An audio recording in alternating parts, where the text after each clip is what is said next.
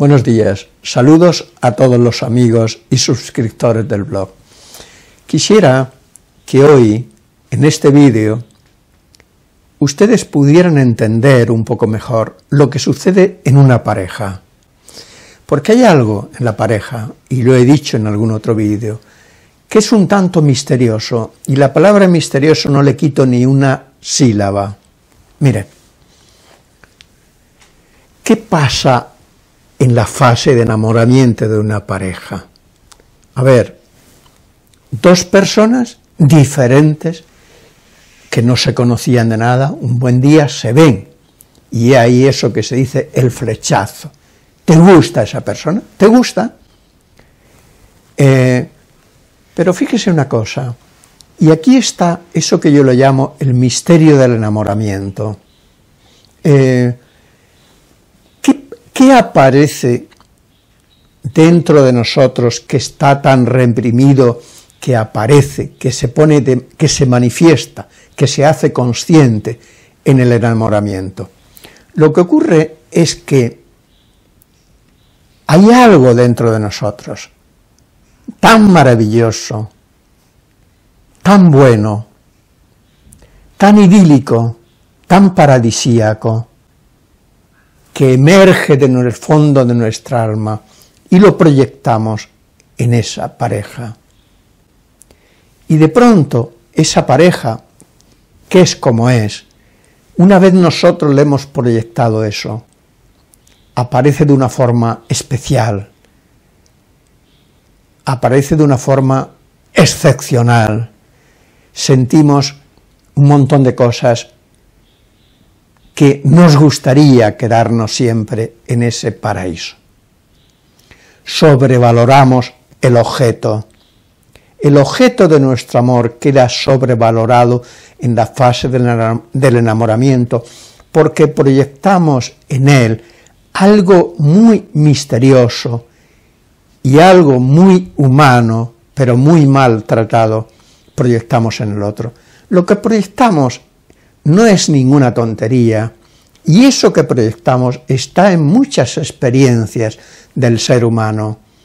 Proyectamos, eh, me faltan las palabras para hablar de eso, proyectamos un misterio, un misterio que está presente en nuestra naturaleza y que le gustaría tener un mundo idílico, un mundo donde pudiéramos solo con mirarnos a la cara, sentir ese amor hacia los demás y sentir esa maravillosa, mm, digamos, ilusión de ese amor.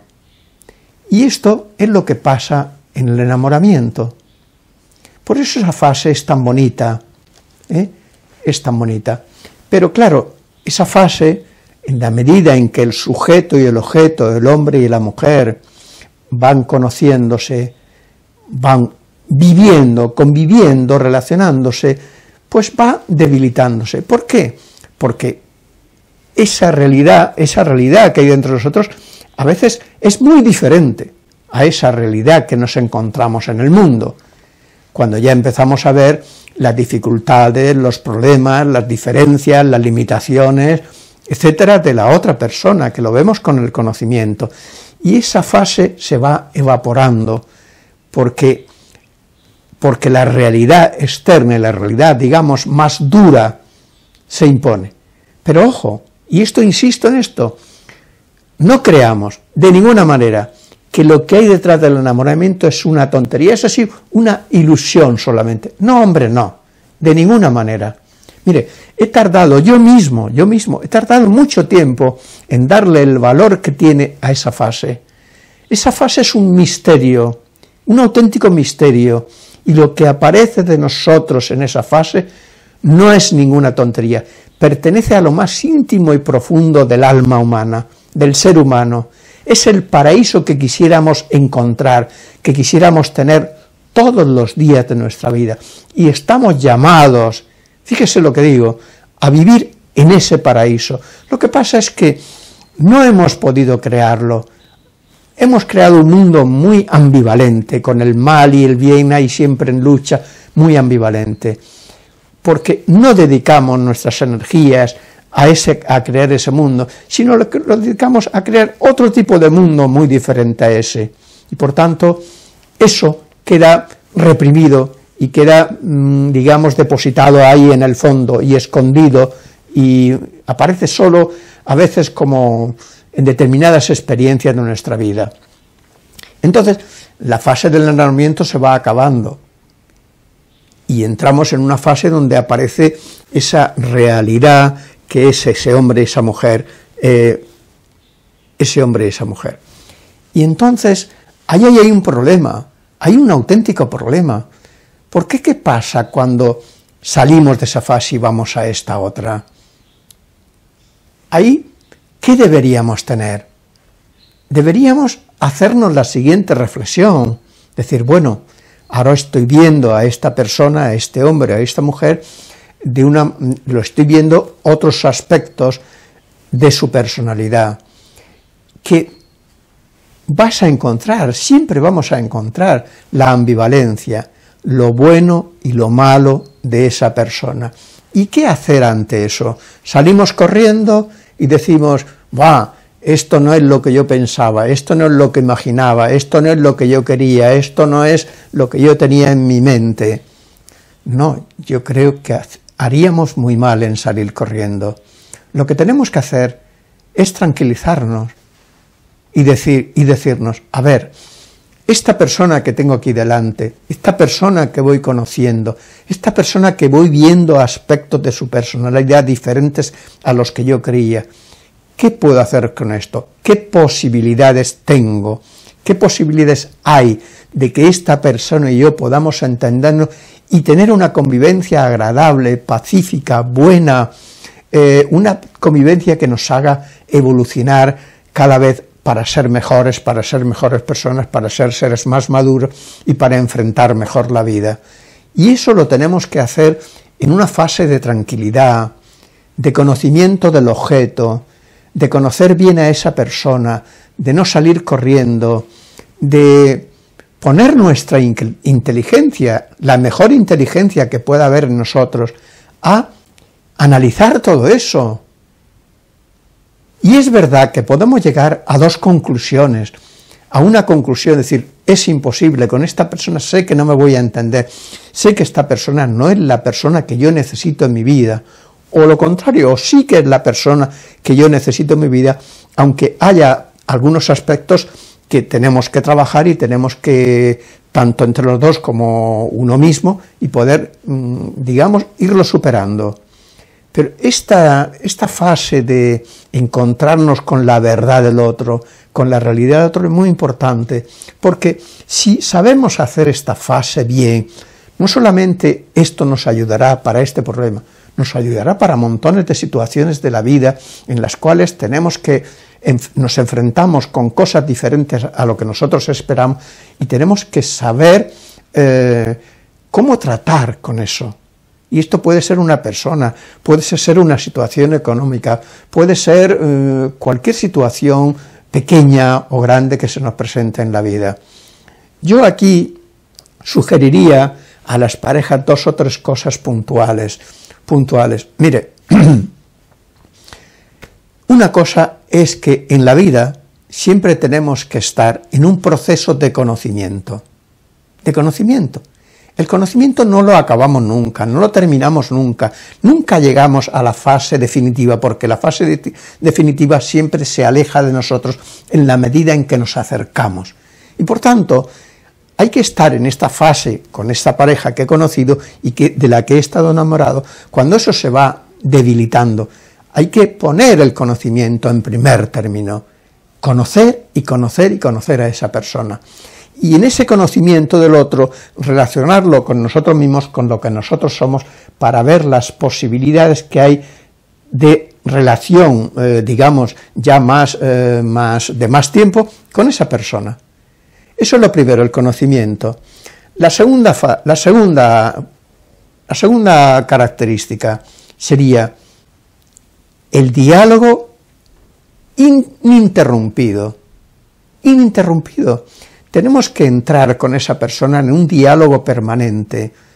No podemos, eh, no podemos, sino diálogo quiere decir, vamos a ver, tú eres así, yo soy así, hemos visto esto, hemos visto lo otro, vamos a hablar sobre esto, vamos a ver qué posibilidades tenemos tú y yo, a ver esta característica tuya, eh, si encaja con esto mío, con lo otro. Por ejemplo, imagínese una persona que le gusta mucho, que le dirías, estar en la calle, salir, hacer excursiones, ir a la montaña, ir a la playa, y a otra persona que le gusta mucho una vida más casera. ¿Eso tiene solución o no tiene solución? Porque esto es realidad, esto ocurre de verdad. Pero así podemos, imagínense una persona que le gusta mucho ir al cine, al teatro, y otra persona pues que prefiere mucho más quedarse ante la tele y ver series y películas y lo que sea. ¿Esto tiene solución? Eh, imaginemos una persona que tiene en la cabeza una forma de educar a esos posibles hijos que van a tener y otra tiene otra. ¿Eso tiene solución? Tiene que haber ahí un ejercicio un ejercicio de confianza, de diálogo, de intercambio, de escucha del otro y de uno mismo para poder realmente saber si van a poder ser una pareja. O sea, ya tenemos el conocimiento y el diálogo ininterrumpido, la constante, la constante escucha del otro y que el otro nos escuche a nosotros para poder alcanzar, eh, digamos, conocimiento para saber si eso merece la pena seguir adelante o no. Y luego hay otra cosa. Mire, eh, no podemos, tenemos que tener en cuenta que nuestra evolución y la de esa pareja no se va a realizar en un momento. Lo que tenemos que tener en cuenta es si esa persona que tenemos delante tiene capacidad de evolución. Eso sí que es importante, amigos, porque hay personas que tienen muy poca capacidad de evolución y hay otras personas que tienen una gran reserva, una gran capacidad de evolución, de cambio y que de verdad van a tener la capacidad de hacer ese cambio que nosotros esperamos de ellas o llegar a esa, a esa situación en la cual podemos entenderlo, porque tiene esa gran capacidad de cambio. Estos tres aspectos, el, digamos, el conocimiento, el diálogo permanente y ver la capacidad de cambio del otro, van a ser tres características que pueden fundamentar la toma de decisión de si puedo seguir con esa persona o no puedo seguir, o no puedo seguir. Eh, porque evidentemente una relación que dure tiempo debe estar sentada sobre pilares, sobre buenos pilares, y tiene que tener buenos pilares, porque si no, no va a resistir los avatares de la vida. La vida tiene muchos avatares, y si no es así, no los va a resistir. Y si ustedes quieren tener hijos y tienen hijos, evidentemente hay, hay otra cosa, diferente, es decir, cuáles son los criterios, qué criterios tenemos para educar a los hijos. ¿Qué vamos a hacer con los hijos? Tú vas a decir A y yo voy a decir B.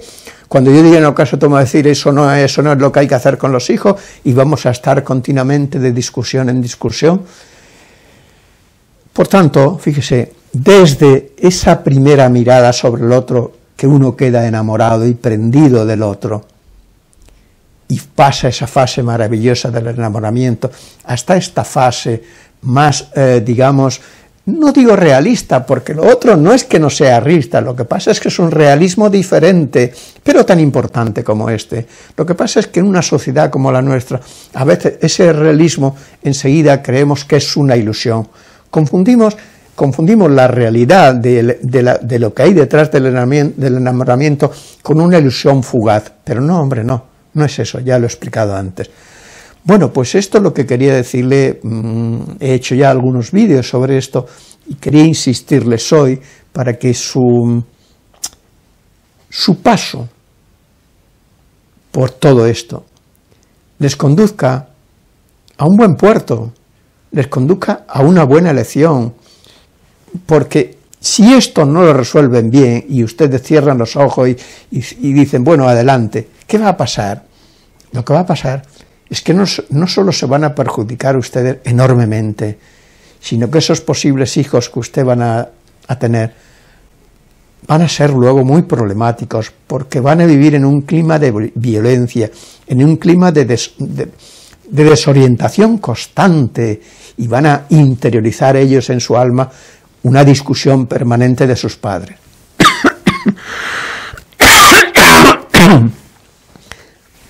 Bueno, pues nada más. Gracias y hasta el próximo vídeo.